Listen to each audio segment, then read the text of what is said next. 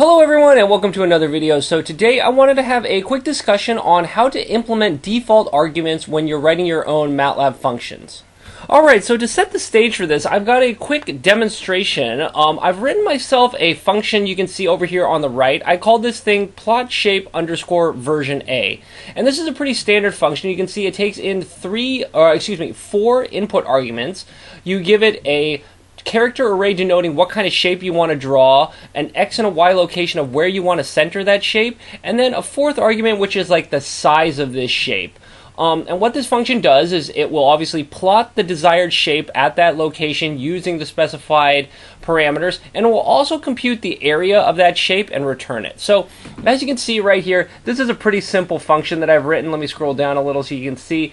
It just supports three different shapes. You can draw a circle, a square, or a triangle and it's going to compute the area and then it will plot that shape at the desired location. So just as an illustration of how this works, let me show you. I've got this uh, script over here on the left that will just call my custom function using different parameters. So I'm going to plot a circle, a square, and then a triangle at these different locations. So if I go ahead and run this script and call my function, it does, you know, as you would expect, it draws these shapes at the locations with the specified sizes, um, and nothing fancy right now, right?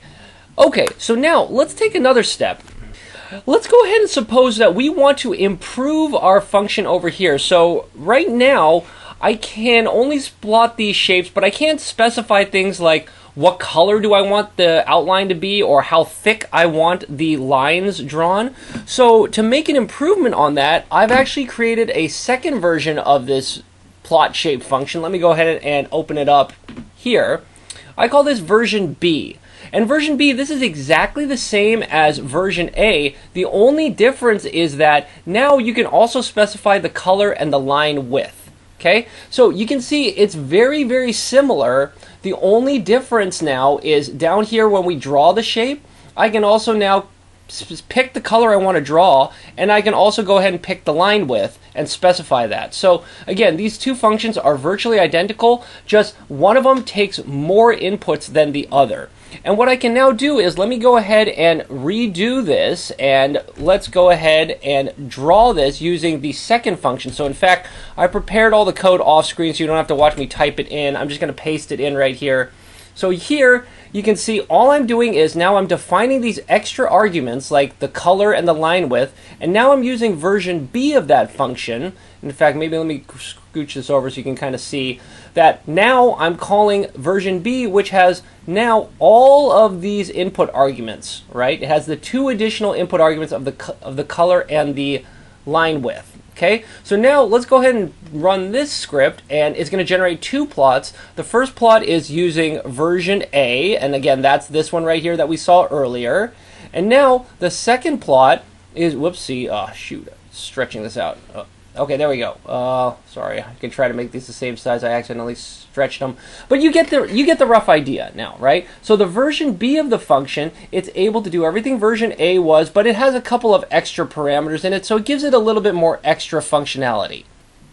Now, although we've got extra functionality, the drawback of version B, right, is that you are actually asking the user of this function, they're going to have to specify all of these parameters, right? I think it's one, two, three, four, five, six. They have to give you six input arguments in order for the function to work.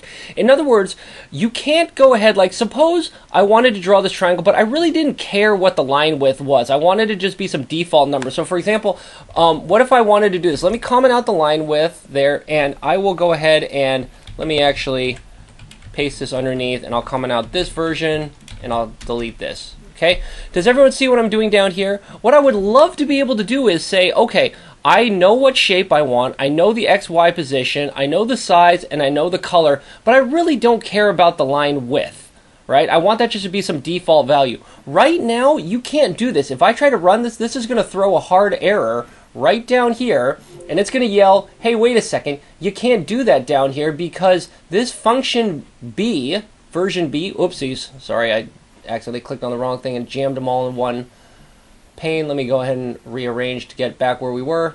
Okay, sorry, here we are. okay, what happens here is this function version B it has to have six input arguments, right? And it will not allow it to be called with only five because it has no idea of what value to use for line width, right? You didn't specify it. This is typically where a default argument is going to come in, where I want to be able to say, I want to call this function, but I don't want to have to specify things like line widths. And again, this is what's referred to as a default argument in um, most programming languages. Now, if you do a quick Google search on default arguments in MATLAB functions, you're going to see that a lot of people say that really there is not a uh, built-in methodology to support this within MATLAB. But um, I don't know if I really agree with this. There are very easy ways to deal with this. For example, if you look down here, um, in fact, this is what we're going to do right now. I would like to talk about using nargin and varargin to basically uh, replicate the functionality of default arguments. So to do that, let's come back to the MATLAB script uh, or MATLAB IDE and let me pull up a third version of this function. Okay, let me drag it over here and you can see. Okay, here is my plot shape version 3. Okay, now what this does is, in fact, maybe what would be more helpful is let me put this side by side with some of these other ones. Let me put version B maybe on this side. Let me get us a little bit more room so we can compare these all together.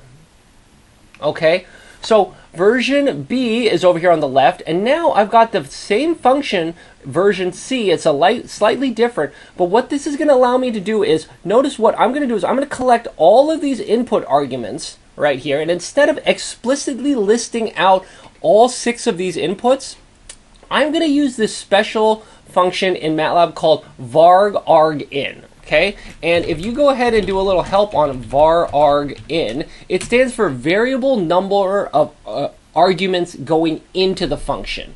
So what this is doing is it's basically going to allow us to collect a varying number of input arguments that are passed into the function, it's going to be passed into this function into this cell array. This is basically going to be a large cell array which is going to collect all of the different inputs. Okay? And now, what we're going to do is the very first thing that I usually do as soon as I drop into the function is I use a switch statement and I'm going to use this other matching kind of associated sister function called nargin, which stands for number of arguments in. And again, let's go ahead and do a little help on nargin. And you'll see that what this does is it's going to tell you how many function inputs did the user call the function with. Okay, so by default, we see that 6 is the maximum number that we want to support. So let's assume that the user passes in 6 arguments. What we're going to drop down here in this case statement is we're going to say, okay, that meant the user specified absolutely all of the input arguments. So what I'm going to then do is I'm going to unpack this varargin uh, cell array. The first element of the cell array is going to be the first input argument, which is going to be shape. The second element of the cell array is going to be the second uh, input argument, which in this case is x, y, and then, you know, et cetera, et cetera. Y, size, color, line width, right? So all six of these inputs are going to be packed into the function into this cell array varargin. Okay, now the next case is okay, this is where it gets interesting. What if the user only passed in five input arguments? This is exactly the case that we were trying to do over here on line 57 right? There were only five input arguments, right? We had omitted the line width argument. So there were only five inputs. So we're really asking, you know, the, the intended behavior that the user wants is they want to call the function, they want to specify only the first five input arguments, and they want to just use a default argument for the sixth input. That's exactly what we're going to do here. So what I'm going to do is we're going to unpack the first five uh, input arguments. These were specified by the user, just like we saw earlier. But now, what we're going to do is we're going to specify a default line width. This is the default sixth piece of information that we were missing.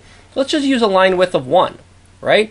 And you can actually keep going with this, right? What if the user only passed in four input arguments, right? So what that means is they're only going to specify these four inputs, they're going to want a default color and a default line width. So again, we just do that, right? We only unpack the information the user has, then we're going to pick a default color. In this case, it's uh, what was it, red, green, blue. So we're just going to use blue, and a line width of 1. And again, you can see how this works, right? You can use this logic here, in the switch statement. Let's do one last one and assume the user only passes in three inputs, right? Size x or uh, shape x and y. In that case, let's just use a size shape of, of unity for for for fun, right? As a default argument. And then after we do all this unpacking and setting of all of these default arguments, the function body, it's exactly the same as version B, right? In fact, if we line these two up, maybe we can do this like that, right? So on the left is the version B, on the right is version C. You can see they're the exact same. Oh, the only magic that happened in version C is that we had all of this handling at the initial inception or initial uh, top level of the function to unpack all of the user inputs. So what we can now do is let's go ahead and reset all of this. Let me go uncomment that. Okay, so let's let's make sure. Yep, this should be back to using version B. Now what we can do is let's call version C, and what version C is going to allow us to do, and, and again, let me paste this in just so you don't have to watch me type it all the time, and let me get us a little bit more space. Okay, so now version C, I'm going to start another figure, and now I can do all of this fun stuff that we did earlier. So for example, we saw I can call it with only three arguments. So what we expect right now is this is going to draw a circle, but it's going to use a size of one a blue color and a line width of 1, right? Because those are the default arguments. If I don't specify it, I want the function to be able to just use default values. And then again, let's plot a square, but this time maybe I will use four user specified parameters and two default arguments. So that is going to be covered by this case right here. Okay, and then same thing, you still could use the full on version of the function uh, if you want. Oh, excuse me, sorry, this should be version C. Whoops, little typo there. But anyway, yeah, we have one, two, three, four, five, six. So every single parameter of the triangle is specified. Um, and now if I run this, now we should have no problem. So for example, again, here's the version A, right? Here's version B of the function. And finally, version C here is you can see it draws the circle using a, a blue size 1 width 1 line. And then down here, the square is, yes, the, sh the shape, the location, and the size are specified, but the um, color and the line width are default. Yep, so we see blue. And then again, the triangle you can see has everything specified and everything works. So again, this is actually pretty fun. So it's it's interesting that what you're doing is we are again using this fun thing called varargin and its sister matching function nargin to um, allow a user to specify multiple different um, number of input arguments and how it's going to behave. And while we're talking about all of these variable number of uh, input arguments, you know, you can also have a variable number of output arguments. Notice right now that the function is only being uh, asked to output one output, the area of the shape, right? And you can see that's exactly what we're asking for here. So if I were to come and do something like, uh, let me go and paste this. Uh, actually, you know, let's let's do this one so we can see this a little bit better. Okay, I'm going to put a little uh, comment here, demo multiple output arguments. Okay, so if I do something like this, like, um, I don't know, how about like output 2, something like this. This line 70 is going to throw another error because it says, wait a second, this function here, it only spits out one output argument, right? But the user is asking for two output arguments. There's a mismatch. This is exactly what we saw earlier with the number of inputs. So you can actually do a very similar thing on the output side. So if I look at var arg out, right? This is how you can get multiple arguments coming out of a function. So again, the way you could do this is I can say I'll replace this a with a var arg out, okay? And then what I will do is down at the bottom, let's go ahead and say I'm going to package the variable number of outputs. So what I could do is I could say var arg out 1, right, as a cell array, that's going to be the area. That's the first thing that a user might want. But maybe var arg out two, I don't know. We're gonna make up some other second output. Let's uh here let, let let's let's do this up here. So I'm going to make up some arbitrary output uh, or second output. Um, I don't know what we could do. Let's make it. Uh, I'm going to say output uh, alternate. Let's just go ahead and make this something like the area squared. Right? I'm just making something up. Okay? So now what I'll do is I'll put that out as a secondary output. Okay? So now what the function can do is the function can output one or two outputs. It doesn't matter. So now if I do this and I run this script, this will all work. All the code above, like all of these are still working, right? It's saying, okay, the user just wants one output, one output, one output. Oh, now the user wants two outputs. So actually, this should work. So if I look at the area of the circle, that's 3.14, and now the output there, it's that area squared. So there you go. So this is how you can now get an arbitrary number of input arguments into a function and an arbitrary number of output arguments out of a function. And what you can see is this is used all over in MATLAB. So if you look up some random function, in fact, let's look up the rand function in MATLAB, and you'll notice, right, a lot of MATLAB functions, there are multiple ways you can call this, right? So for example, you can call it with just a single number here. You can call it with a whole bunch of extra parameters here. And you can use this if you want to emulate this functionality in your own custom functions. It's just using the varargin, varg arg out, arg in. You, th there's actually n arg out if you want, n arg out, right? So this is a great way to go about uh, writing your own custom functions that can implement, implement default argument behavior as well as multiple or variable number of outputs.